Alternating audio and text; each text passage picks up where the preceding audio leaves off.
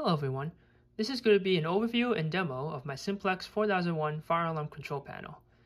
These panels were first produced in 1985 and discontinued around 1994. They are fixed, four-zone conventional panels with one NAC. So here's our demo setup. For initiating devices, we have a 4251-20 pull station and a 2098-9577 ionization smoke detector. For notification appliance, we have a 2903 9001 light plate with a 2901 9833 horn. The panel is set on march time, so let's hit it.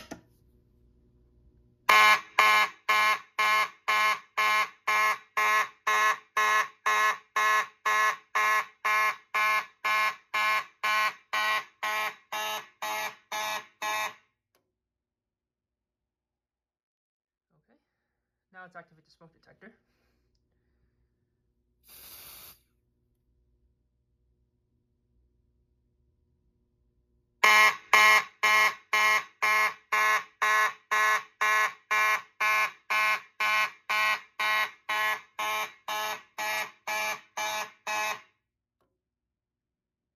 Alright, cool. Let's reset the pull station. And reset the system.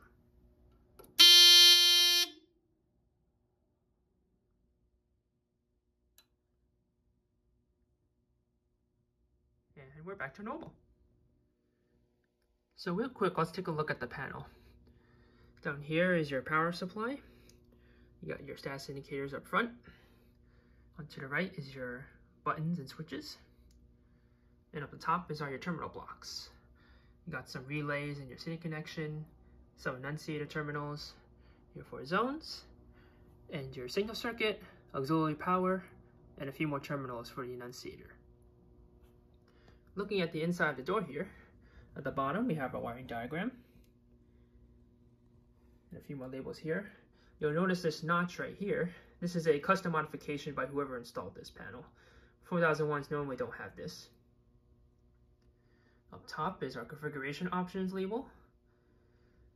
And right here is the label for the panel.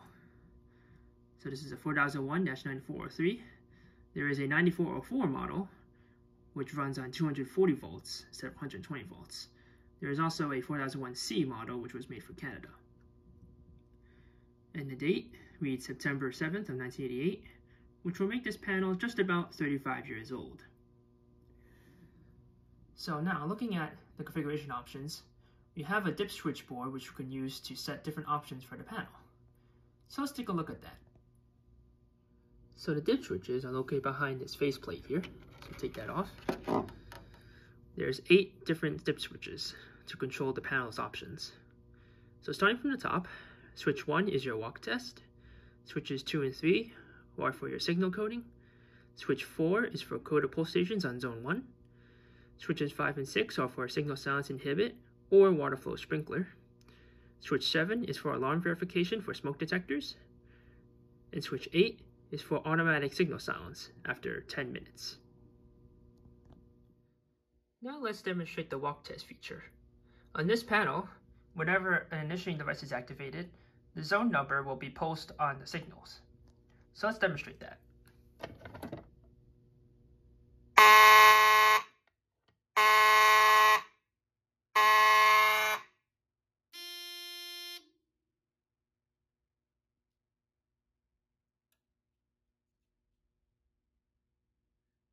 And let's do the smoke detector.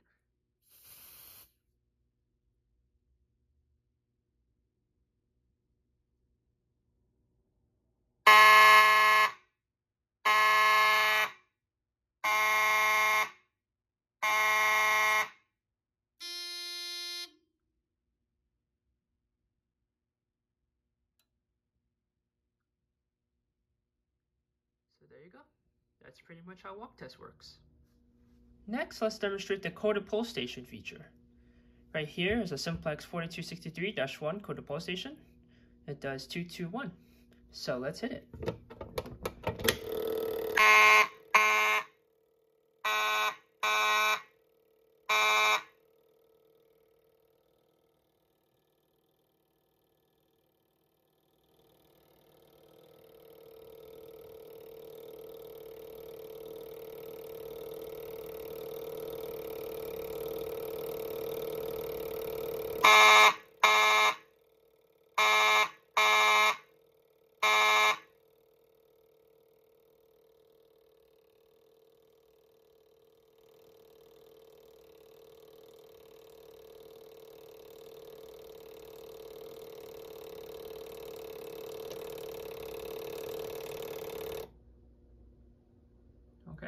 Coding is completed.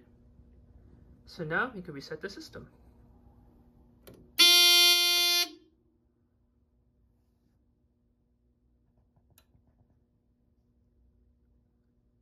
And that concludes our coded pull station demo.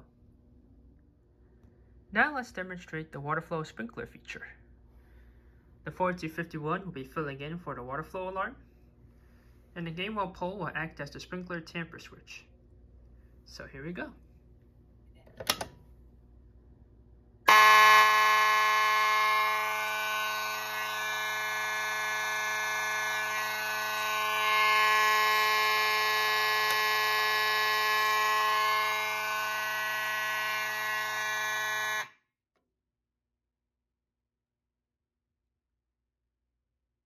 let's pull the tamper switch.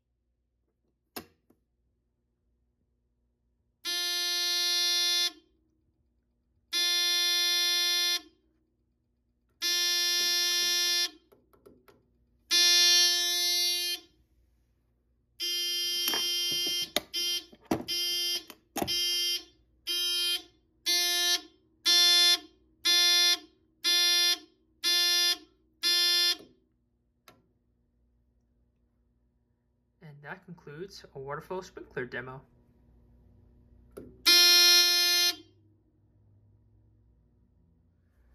Lastly, let's demonstrate the alarm verification feature.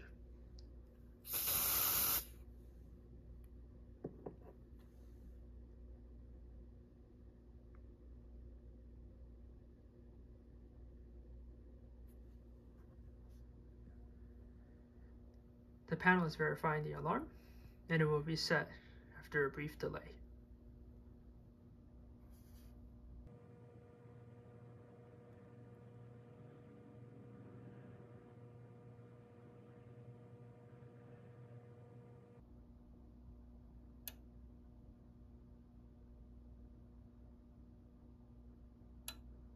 There we go. Now let's activate the smoke detector again.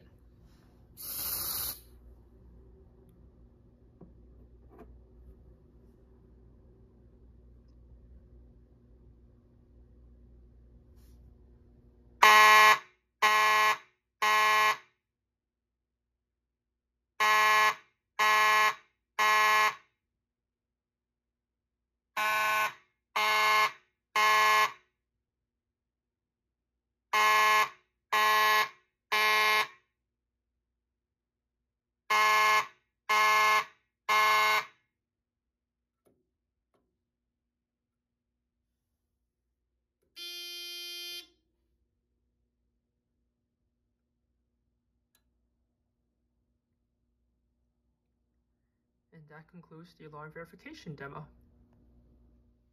And that concludes the overview and demo of my 4001 fire alarm control panel. I hope this video was informative. Any comments or questions will always be appreciated. And until next time, have a nice day.